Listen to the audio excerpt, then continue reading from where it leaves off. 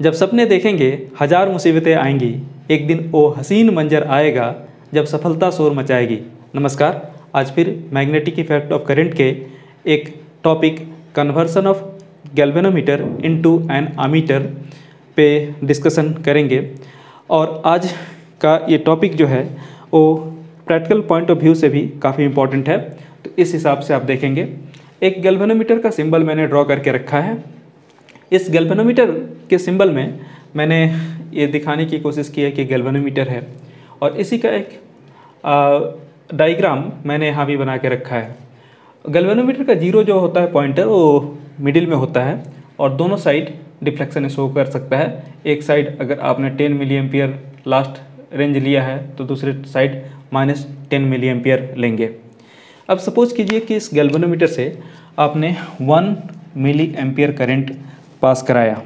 तो वैसे केस में गैल्वेनोमीटर क्या करेगा? अपना जो पोजीशन है, ये वन मिली एम्पियर जहाँ पर है, वहाँ शो करेगा। आप इसको चेंज करेंगे। अगर टू मिली एम्पियर करते हैं तो ये अपना पोजीशन फर्दर चेंज कर लेगा। टू मिली एम्पियर पे आ जाएगा। अगर इसको आप टेन मिली एम्पियर जो फाइनल मैंने दे के रखा है, वहाँ करेंगे तो ये फुल स्केल डिफ्लेक्शन मतलब यहाँ शो करेगा। ओके ऐसे केस में अब अगर फर्दर आप करंट बढ़ाते हैं तो क्या होगा? ऐसे गैल्वेनोमीटर को स्मॉल करंट मेजर करने के लिए डिटेक्ट करने के लिए ही डिज़ाइन किया गया है। अब यहाँ पर अब 20 मिली एम्पियर अगर आपने कर दिया तो 20 मिली एम्पियर होने पे ये अब डिफ्लेक्शन शो नहीं करेगा। जहाँ है, वहीं पर कांस्टेंट हो जाएगा। मतलब 10 एम मिली एम्पियर के पॉइंटर पे ही स्थिर रहेगा।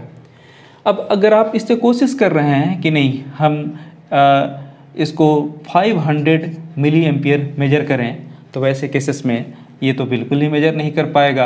अब आप one ampere two ampere five ampere की बात करें वन एम्पियर मतलब थाउज़ेंड मिली एम्पियर वो और भी उसके लिए डिफ़िकल्ट हो जाएगा। ऐसे केस में गैल्वेनोमीटर को कैसे हम कन्वर्ट कर लें ताकि इससे जो करंट जा रहा है वो करंट का रेंज बढ़ जाए। जैसे अभी हमने दिखाया कि मैक्सिमम डिफ्लेक्शन है टेन मिली एम्पियर पे शो करता है। चलिए आईजी मान लिया इसको टेन मिली एम्पियर और इधर से आप वन एम्पियर मतलब one thousand milli ampere pass कराना चाहते हैं कि ये मेजर कर लें। ओके इतना ज़्यादा करंट अगर इससे डायरेक्ट हम पास कराएँगे तो हो सकता है कि गैल्वेनोमीटर डैमेज हो जाए। ऐसे केस में इस गैल्वेनोमीटर को बचाना भी है। तो फ़िलहाल हमारी कोशिश ये रहेगी कि ये 10 मिली एम्पियर जिस पे ये फुल स्केल डिफ्लेक्शन शो कर रहा है उतने पे ही फुल स्केल डिफ्लेक्शन शो करे। आ, एक दूसरा रास्ता निकाल लिया जाए एक बाईपास निकाल लिया जाए जिस बाईपास से जो बचा हुआ करंट चला जाए। लेकिन अगर इसको सीधे वायर से कनेक्ट कर दिए तो इसका रेजिस्टेंस कुछ नहीं रह जाएगा। तो टोटल करंट वहीं से चला जाएगा, फिर तो ये मेज़रमेंट की बात ही नहीं होगी। ओके तब तो ये अपने नल पॉइंट पे ज़ीरो पॉइंट पे ही इंडिकेट करेगा। तो वैसे केस में हम यहाँ पर एक रेजिस्टांस यूज़ करेंगे। रेजिस्टांस स्मॉल रेजिस्टांस होगा, जिसको संट रेजिस्टांस भी बोलते हैं। सर दैट देखिए वन थाउज़ेंड में से टेन मिली एम्पियर ही ये एक्सेप्ट करेगा। तो नाइन नाइन्टी मिली एम्पियर जो है, वो आपको इस तरफ़ से जाना होगा।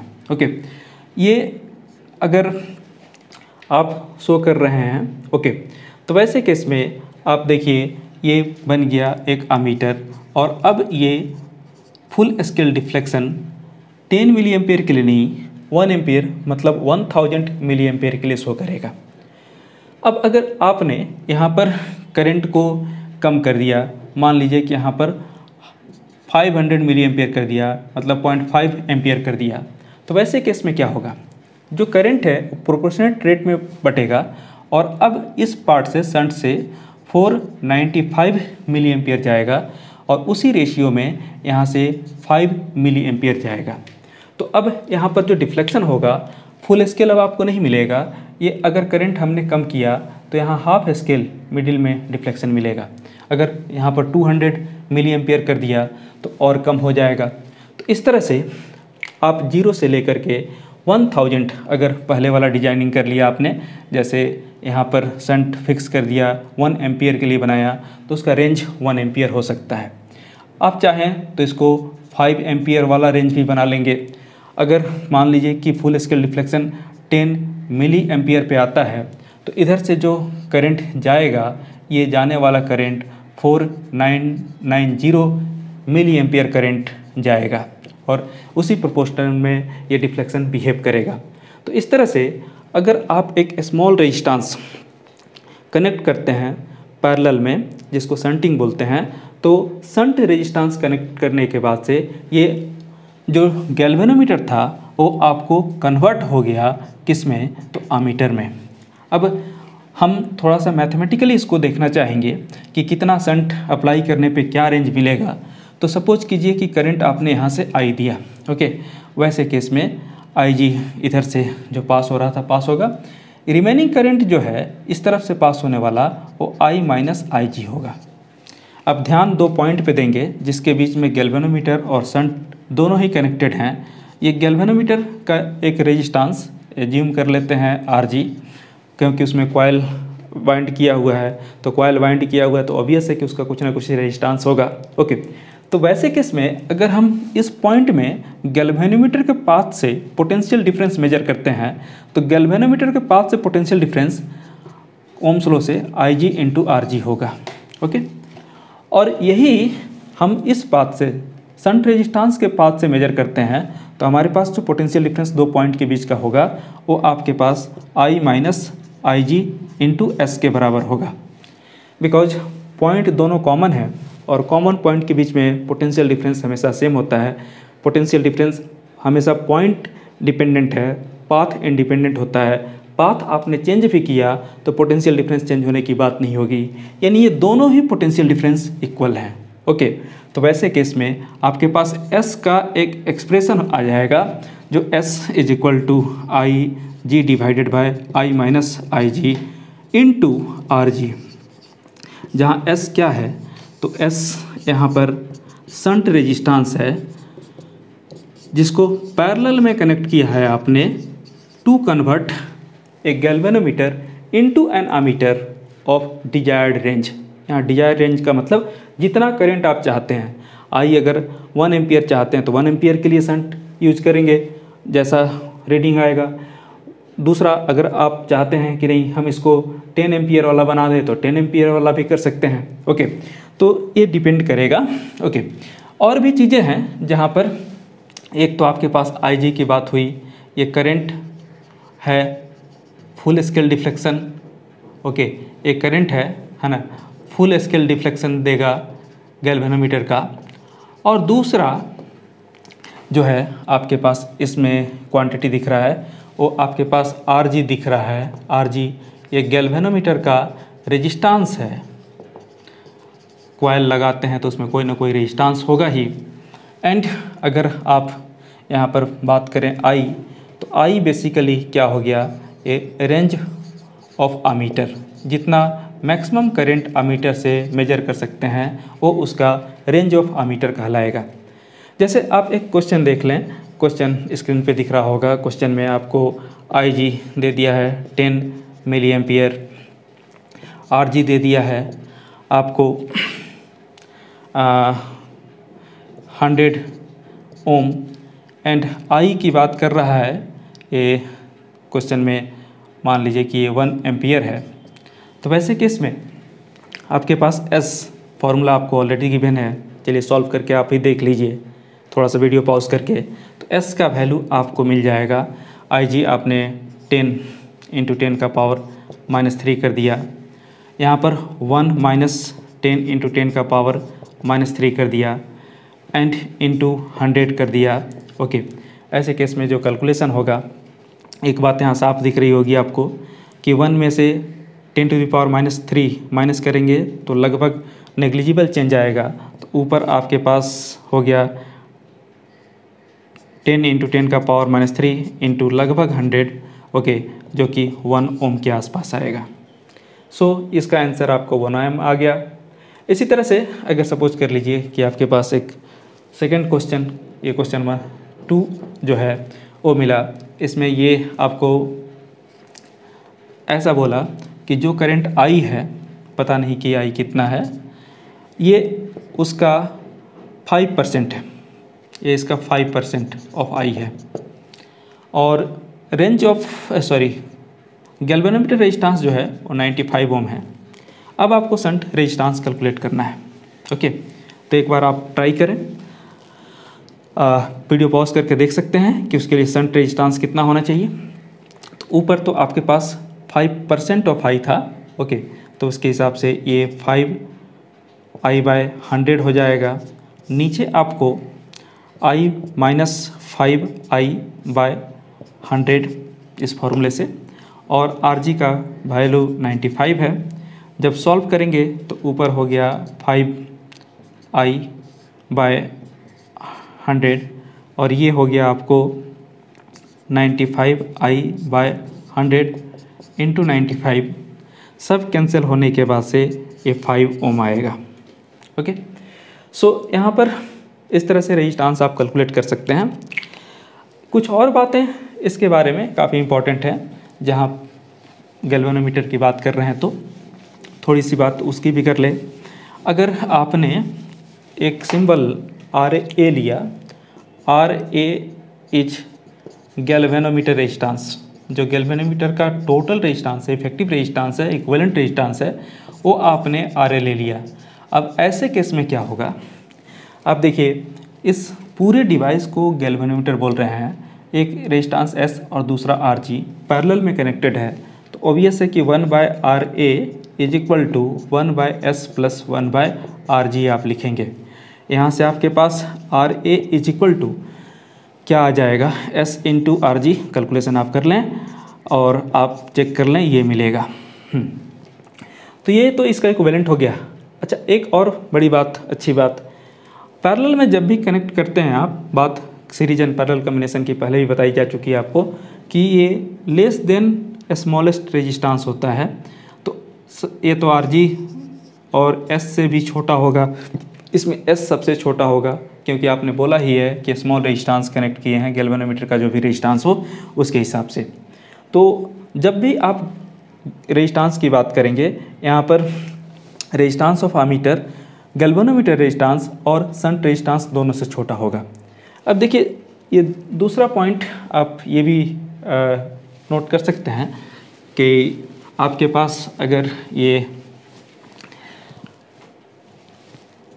तीन डिवाइसेस दे दिए गए, एक आमीटर, दूसरा मिली और तीसरा माइक्रोमीटर, कई बार क्वेश्चन में आता है।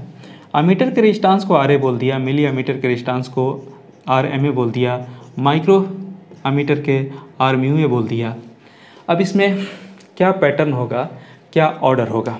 ओके तो देखिए, पहले भी हम समझा रहे थे कि आई को जितना ज़्यादा करना है, संट को उतना कम करना होगा और संट जितना कम होगा आर उतना ही कम होगा। इसके हिसाब से अगर रेंज बढ़ता है तो रेजिस्टांस घटता है और अगर ऐसा है तो इस ऑर्डर में resistance of ammeter millimetre and micrometre होगा। ओके ये बात भी बहुत इंपॉर्टेंट है, जिसको आप समझ लें। आप जान लें आपके काम की बात है। नेक्स्ट पॉइंट जो है इसके बारे में, वो आपको थर्ड पॉइंट थर्ड पॉइंट क्या है कि रेंज जो है, जो भी आपने फिक्स किया कैन बी इंक्रीज्ड बढ़ा सकते हैं but can not be decreased ammeter का रेंज आप बढ़ा सकते हैं, लेकिन डिक्रीज नहीं कर सकते, घटा नहीं सकते। अब ऐसा क्यों? ओके तो इस बात को भी समझ लें। ये जो पूरा डिवाइस आपने बना दिया है, ये आमीटर हो गया, ओके? ये आपको एक कैबिनेट के अंदर मिल जाएगा, बना बनाया। अब अगर आप इस अमीटर से चाहते हैं कि नहीं इसका रेंज चेंज कर लें तो आपके पास दो पॉसिबिलिटी है। एक, या तो इसके सीरीज़ में रेजिस्टांस जोड़ेंगे, ओके? देखिए, सीरीज़ में रेजिस्टांस जोड़ेंगे तो क्या होगा? ये आई करेंट इसमें से I minus I G sorry I G current इधर से इधर से I minus I G current okay अब ये करेंट यहाँ पर फिर आई ओके तो जितना रेंज था, अगर ये रेंज वन एम्पियर का था तो यहाँ भी वन एम्पियर का ही रेंज रह जाएगा। आपको करंट वही पास होगा। यानी सीरीज़ में हम रेजिस्टांस अगर जोड़ भी दिए तो ये बात नहीं बनी। अब दूसरी पॉसिबिलिटी हमारे पास क्या है? हम यहाँ पर एक काम करें। एक और रेजिस्टेंस पैरेलल में जोड़ते हैं। ओके पैरेलल में जैसे ही कोई भी रेजिस्टेंस जोड़ेंगे ओके एस डैश तो वैसे केस में क्या होगा कि ये टोटल रेजिस्टेंस घट जाएगा और तब यहाँ से एक और ब्रांच मिल गया इसको करंट जाने के लिए तो करंट का अमाउंट बढ़ जाएगा। तो अब आप क्या है कि पैरेलल में जोड़ेंगे तो ये करंट वन एम्पियर से टू एम्पियर टू एम्पियर से फाइव एम्पियर जैसा चाहेंगे वैसा बन सकता है। यानी range can be increase but can not be decrease आप इसको डिक्रीज नहीं कर सकते। ओके चलिए फोर्थ पॉइंट भी काफ़ी इंपॉर्टेंट पॉइंट आपके पास है। ये आर ए जो है है ना इज़ इक्वल टू ज़ीरो किसके लिए? तो फोर एन आइडियल आमीटर अगर आमीटर आइडियल हो तो आमीटर रेजिस्टेंस स्मॉल तो बोल ही रहे थे। नेग्लिजिबल नेग्लिजिबल स्मॉल भी बोलेंगे यहाँ पर, और वैसे केस में ये डिवाइस आइडियल हो जाएगा। ऐसे सबको मालूम है कि आइडियल डिवाइस बनाना और बनना दोनों ही इम्पॉसिबल है। Ammeter is always connected in series ये भी क्यों मैंडेटरी है? ये भी आप देख लें। सपोज़ कीजिए कि आपके पास एक यहाँ पर कोई रजिस्टर था सेल आपका यहाँ कनेक्टेड था। ये आपको 12 वोल्ट का था। ये आपको एज्यूम कर लें कि थ्री ओम का था। ऐसे केस में इसका करंट कैलकुलेट कर सकते हैं। Current I is equal to okay twelve by three is equal to four ampere pass होगा। अब इसी सर्किट में अगर आप टोटल करंट को मेजर करना चाहते हैं, क्योंकि अमीटर का काम ही है करंट को मेजर करना तो वैसे केस में हमको एक सीरीज़ में अमीटर पोलरिटी को कुछ इस तरह से रखते हुए कनेक्ट करना पड़ेगा। अब देखिए थ्री ओम पहले था ट्वेल्व यहाँ वोल्ट था। अमीटर के रेजिस्टेंस को आइडियल केस में हम ज़ीरो मान चुके हैं। अगर आइडियल नहीं हो तो उसके कारण क्या होगा, वो भी देख सकते हैं। यहाँ मान लीजिए इसका वन ओम रेजिस्टेंस हो जाए। ऐसे वन ओम से भी कम होगा, लेकिन मान लीजिए इस केस में। तो वैसे केस में अब देखिए, नया करंट जो है, वो twelve divided by three plus one four means twelve by four three ampere current change हो गया। बट जो संटिंग आपने किया है, कुछ इस हिसाब से किया है कि इसका रेजिस्टेंस नेग्लिजिबल हो। नेग्लिजिबल मतलब क्या है? पॉइंट वन ओम हो पॉइंट टू ओम हो लाइक दैट तो वैसे केस में जो करंट है, वो नियरली इक्वल टू पहले वाले case that is four ampere के पास रहेगा। Okay okay. तो ये टोटल करंट को अफेक्ट नहीं करेगा सीरीज़ में कनेक्ट करने के बाद due to its low resistance दूसरी बात हाँ एक बात तो है कि ये एक्चुअल करंट से थोड़ा कम ही मेजर करेगा, क्योंकि इसका अपना रेजिस्टेंस कंप्लीट नेग्लिजिबल तो नहीं होगा। हाँ दूसरी बात, अगर आप इसको पैरेलल में कनेक्ट कर दें तो क्या होगा? अगर आपके पास ये थ्री ओम का रजिस्टर था सेल ट्वेल्व वोल्ट का एज इट इज़ और आप इसको पैरेलल में कुछ इस तरह से कनेक्ट कर दिए तो वैसे केस में क्या होगा? वो भी देख लीजिए। यहाँ पर करंट जो फोर एम्पियर आ रहा था, जो आना चाहिए था पहले का कैलकुलेशन उसका सर्टेन पार्ट करंट इधर से जाएगा और रिमेनिंग पार्ट इधर से भी जाएगा। तो वैसे केस में करंट दो ब्रांच में बट गया आमीटर के थ्रू फुल करंट पास नहीं हो रहा है और अमीटर को जो ड्यूटी मिली थी कि सर्किट के टोटल करंट को मेजर करना, वो नहीं कर पाएगा। दूसरी बात लो रेजिस्टेंस के कारण इससे अचानक हाई करंट पास कर जाएगा और वैसे केस में शॉर्ट सर्किटिंग का चांस बनता है तो अमीटर का डैमेज होने का चांस प्रोबेबिलिटी भी बढ़ जाएगा।